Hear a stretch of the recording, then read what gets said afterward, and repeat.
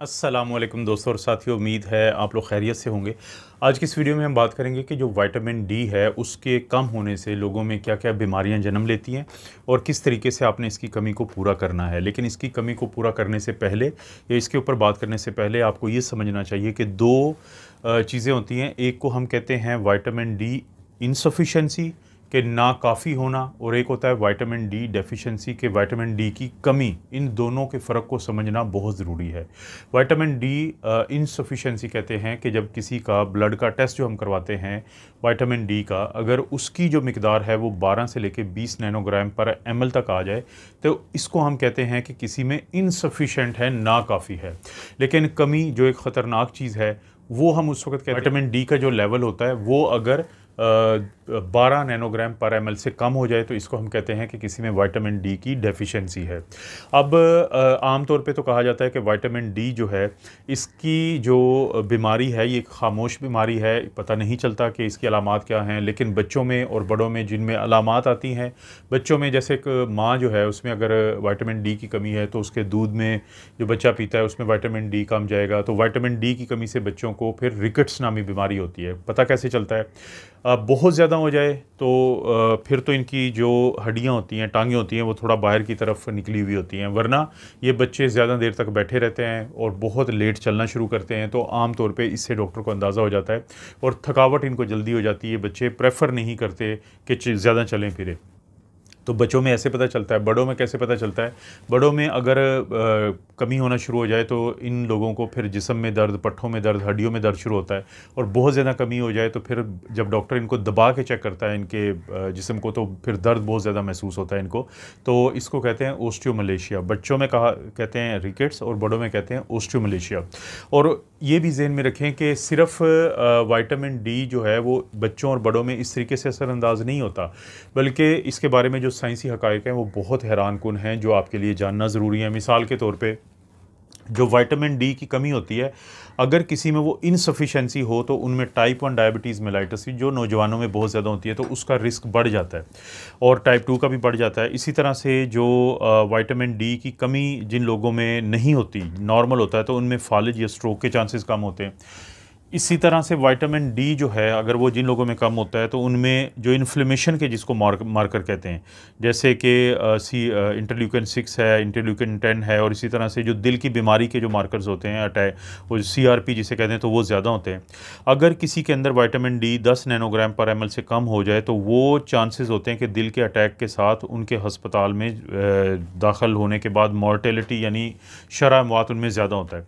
इसी तरह से जो बुज़ुर्ग होते हैं, जिनमें वाइटामिन डी को दिया जाता है सप्लीमेंटेशन की जाती है तो उनकी मॉर्टेलिटी शरह मौत कम देखी गई है। इसी तरह से कोरोना के दिनों में बड़ी मखसूस चीज़ सामने आई थी कि वो लोग जो कोरोना के के साथ यानी कि मरीज़ हैं, लेकिन उनमें अगर वाइटामिन डी की कमी नहीं थी अगर वो इसकी कमी का शिकार नहीं थे तो उससे बीमारी की शिद्दत जो थी उनमें कम थी। लेकिन वो लोग जिनमें विटामिन डी की कमी थी तो उनमें बीमारी की शिद्दत ज़्यादा थी।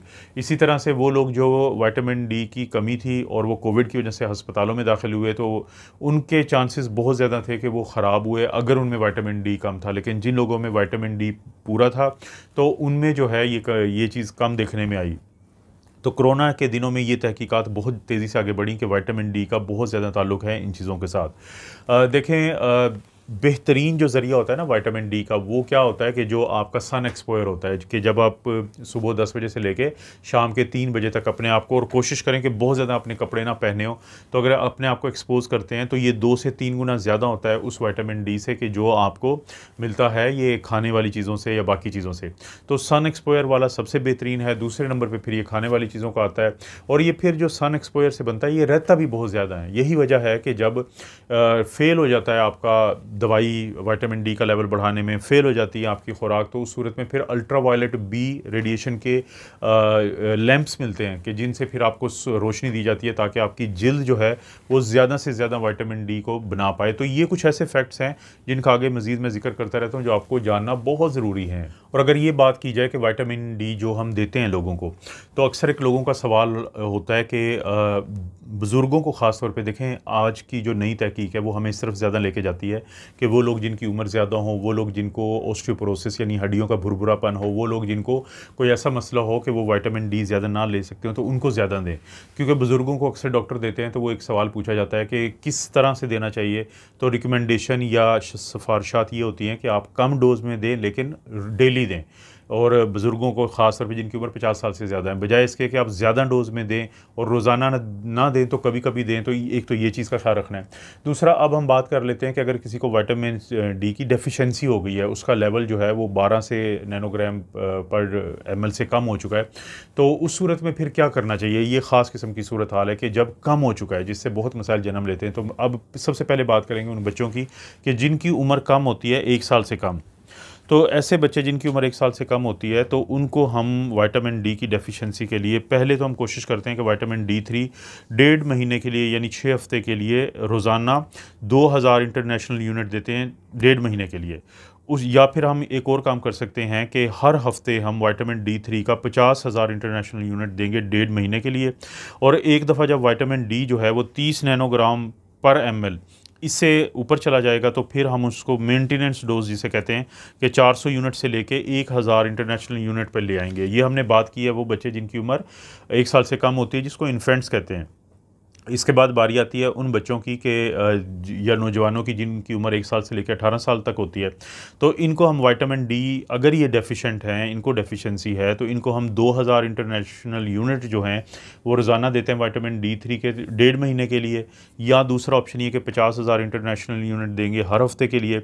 और एक दफ़ा जब वाइटामिन जो twenty five hydroxy D level जिसको जो वाइटामिन डी कहलाता है तो ये तीस नैनोग्राम पर एमएल से ऊपर हो गया तो फिर हम इनको मेनटेनेंस इनकी थोड़ी मुख्तलिफ़ होगी, वो 600 से 1000 इंटरनेशनल यूनिट पर डे होगी।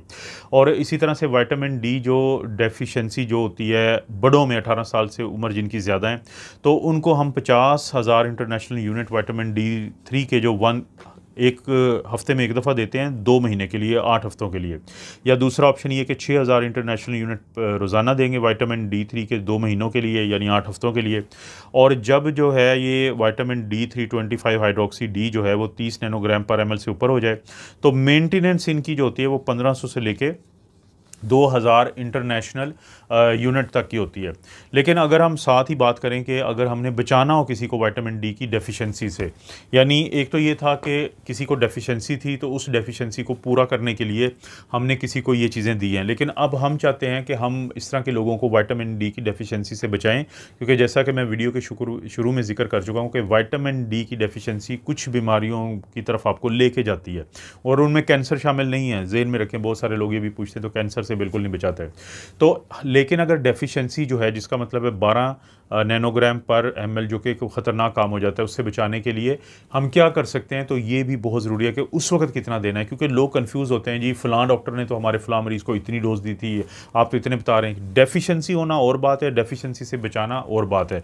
अगर हम इसकी बात करें तो एक से अठारह साल की उम्र के जो लोग हैं, उनको एक साल की उम्र तक के लोगों को हम 400 इंटरनेशनल यूनिट देते हैं रोज़ाना।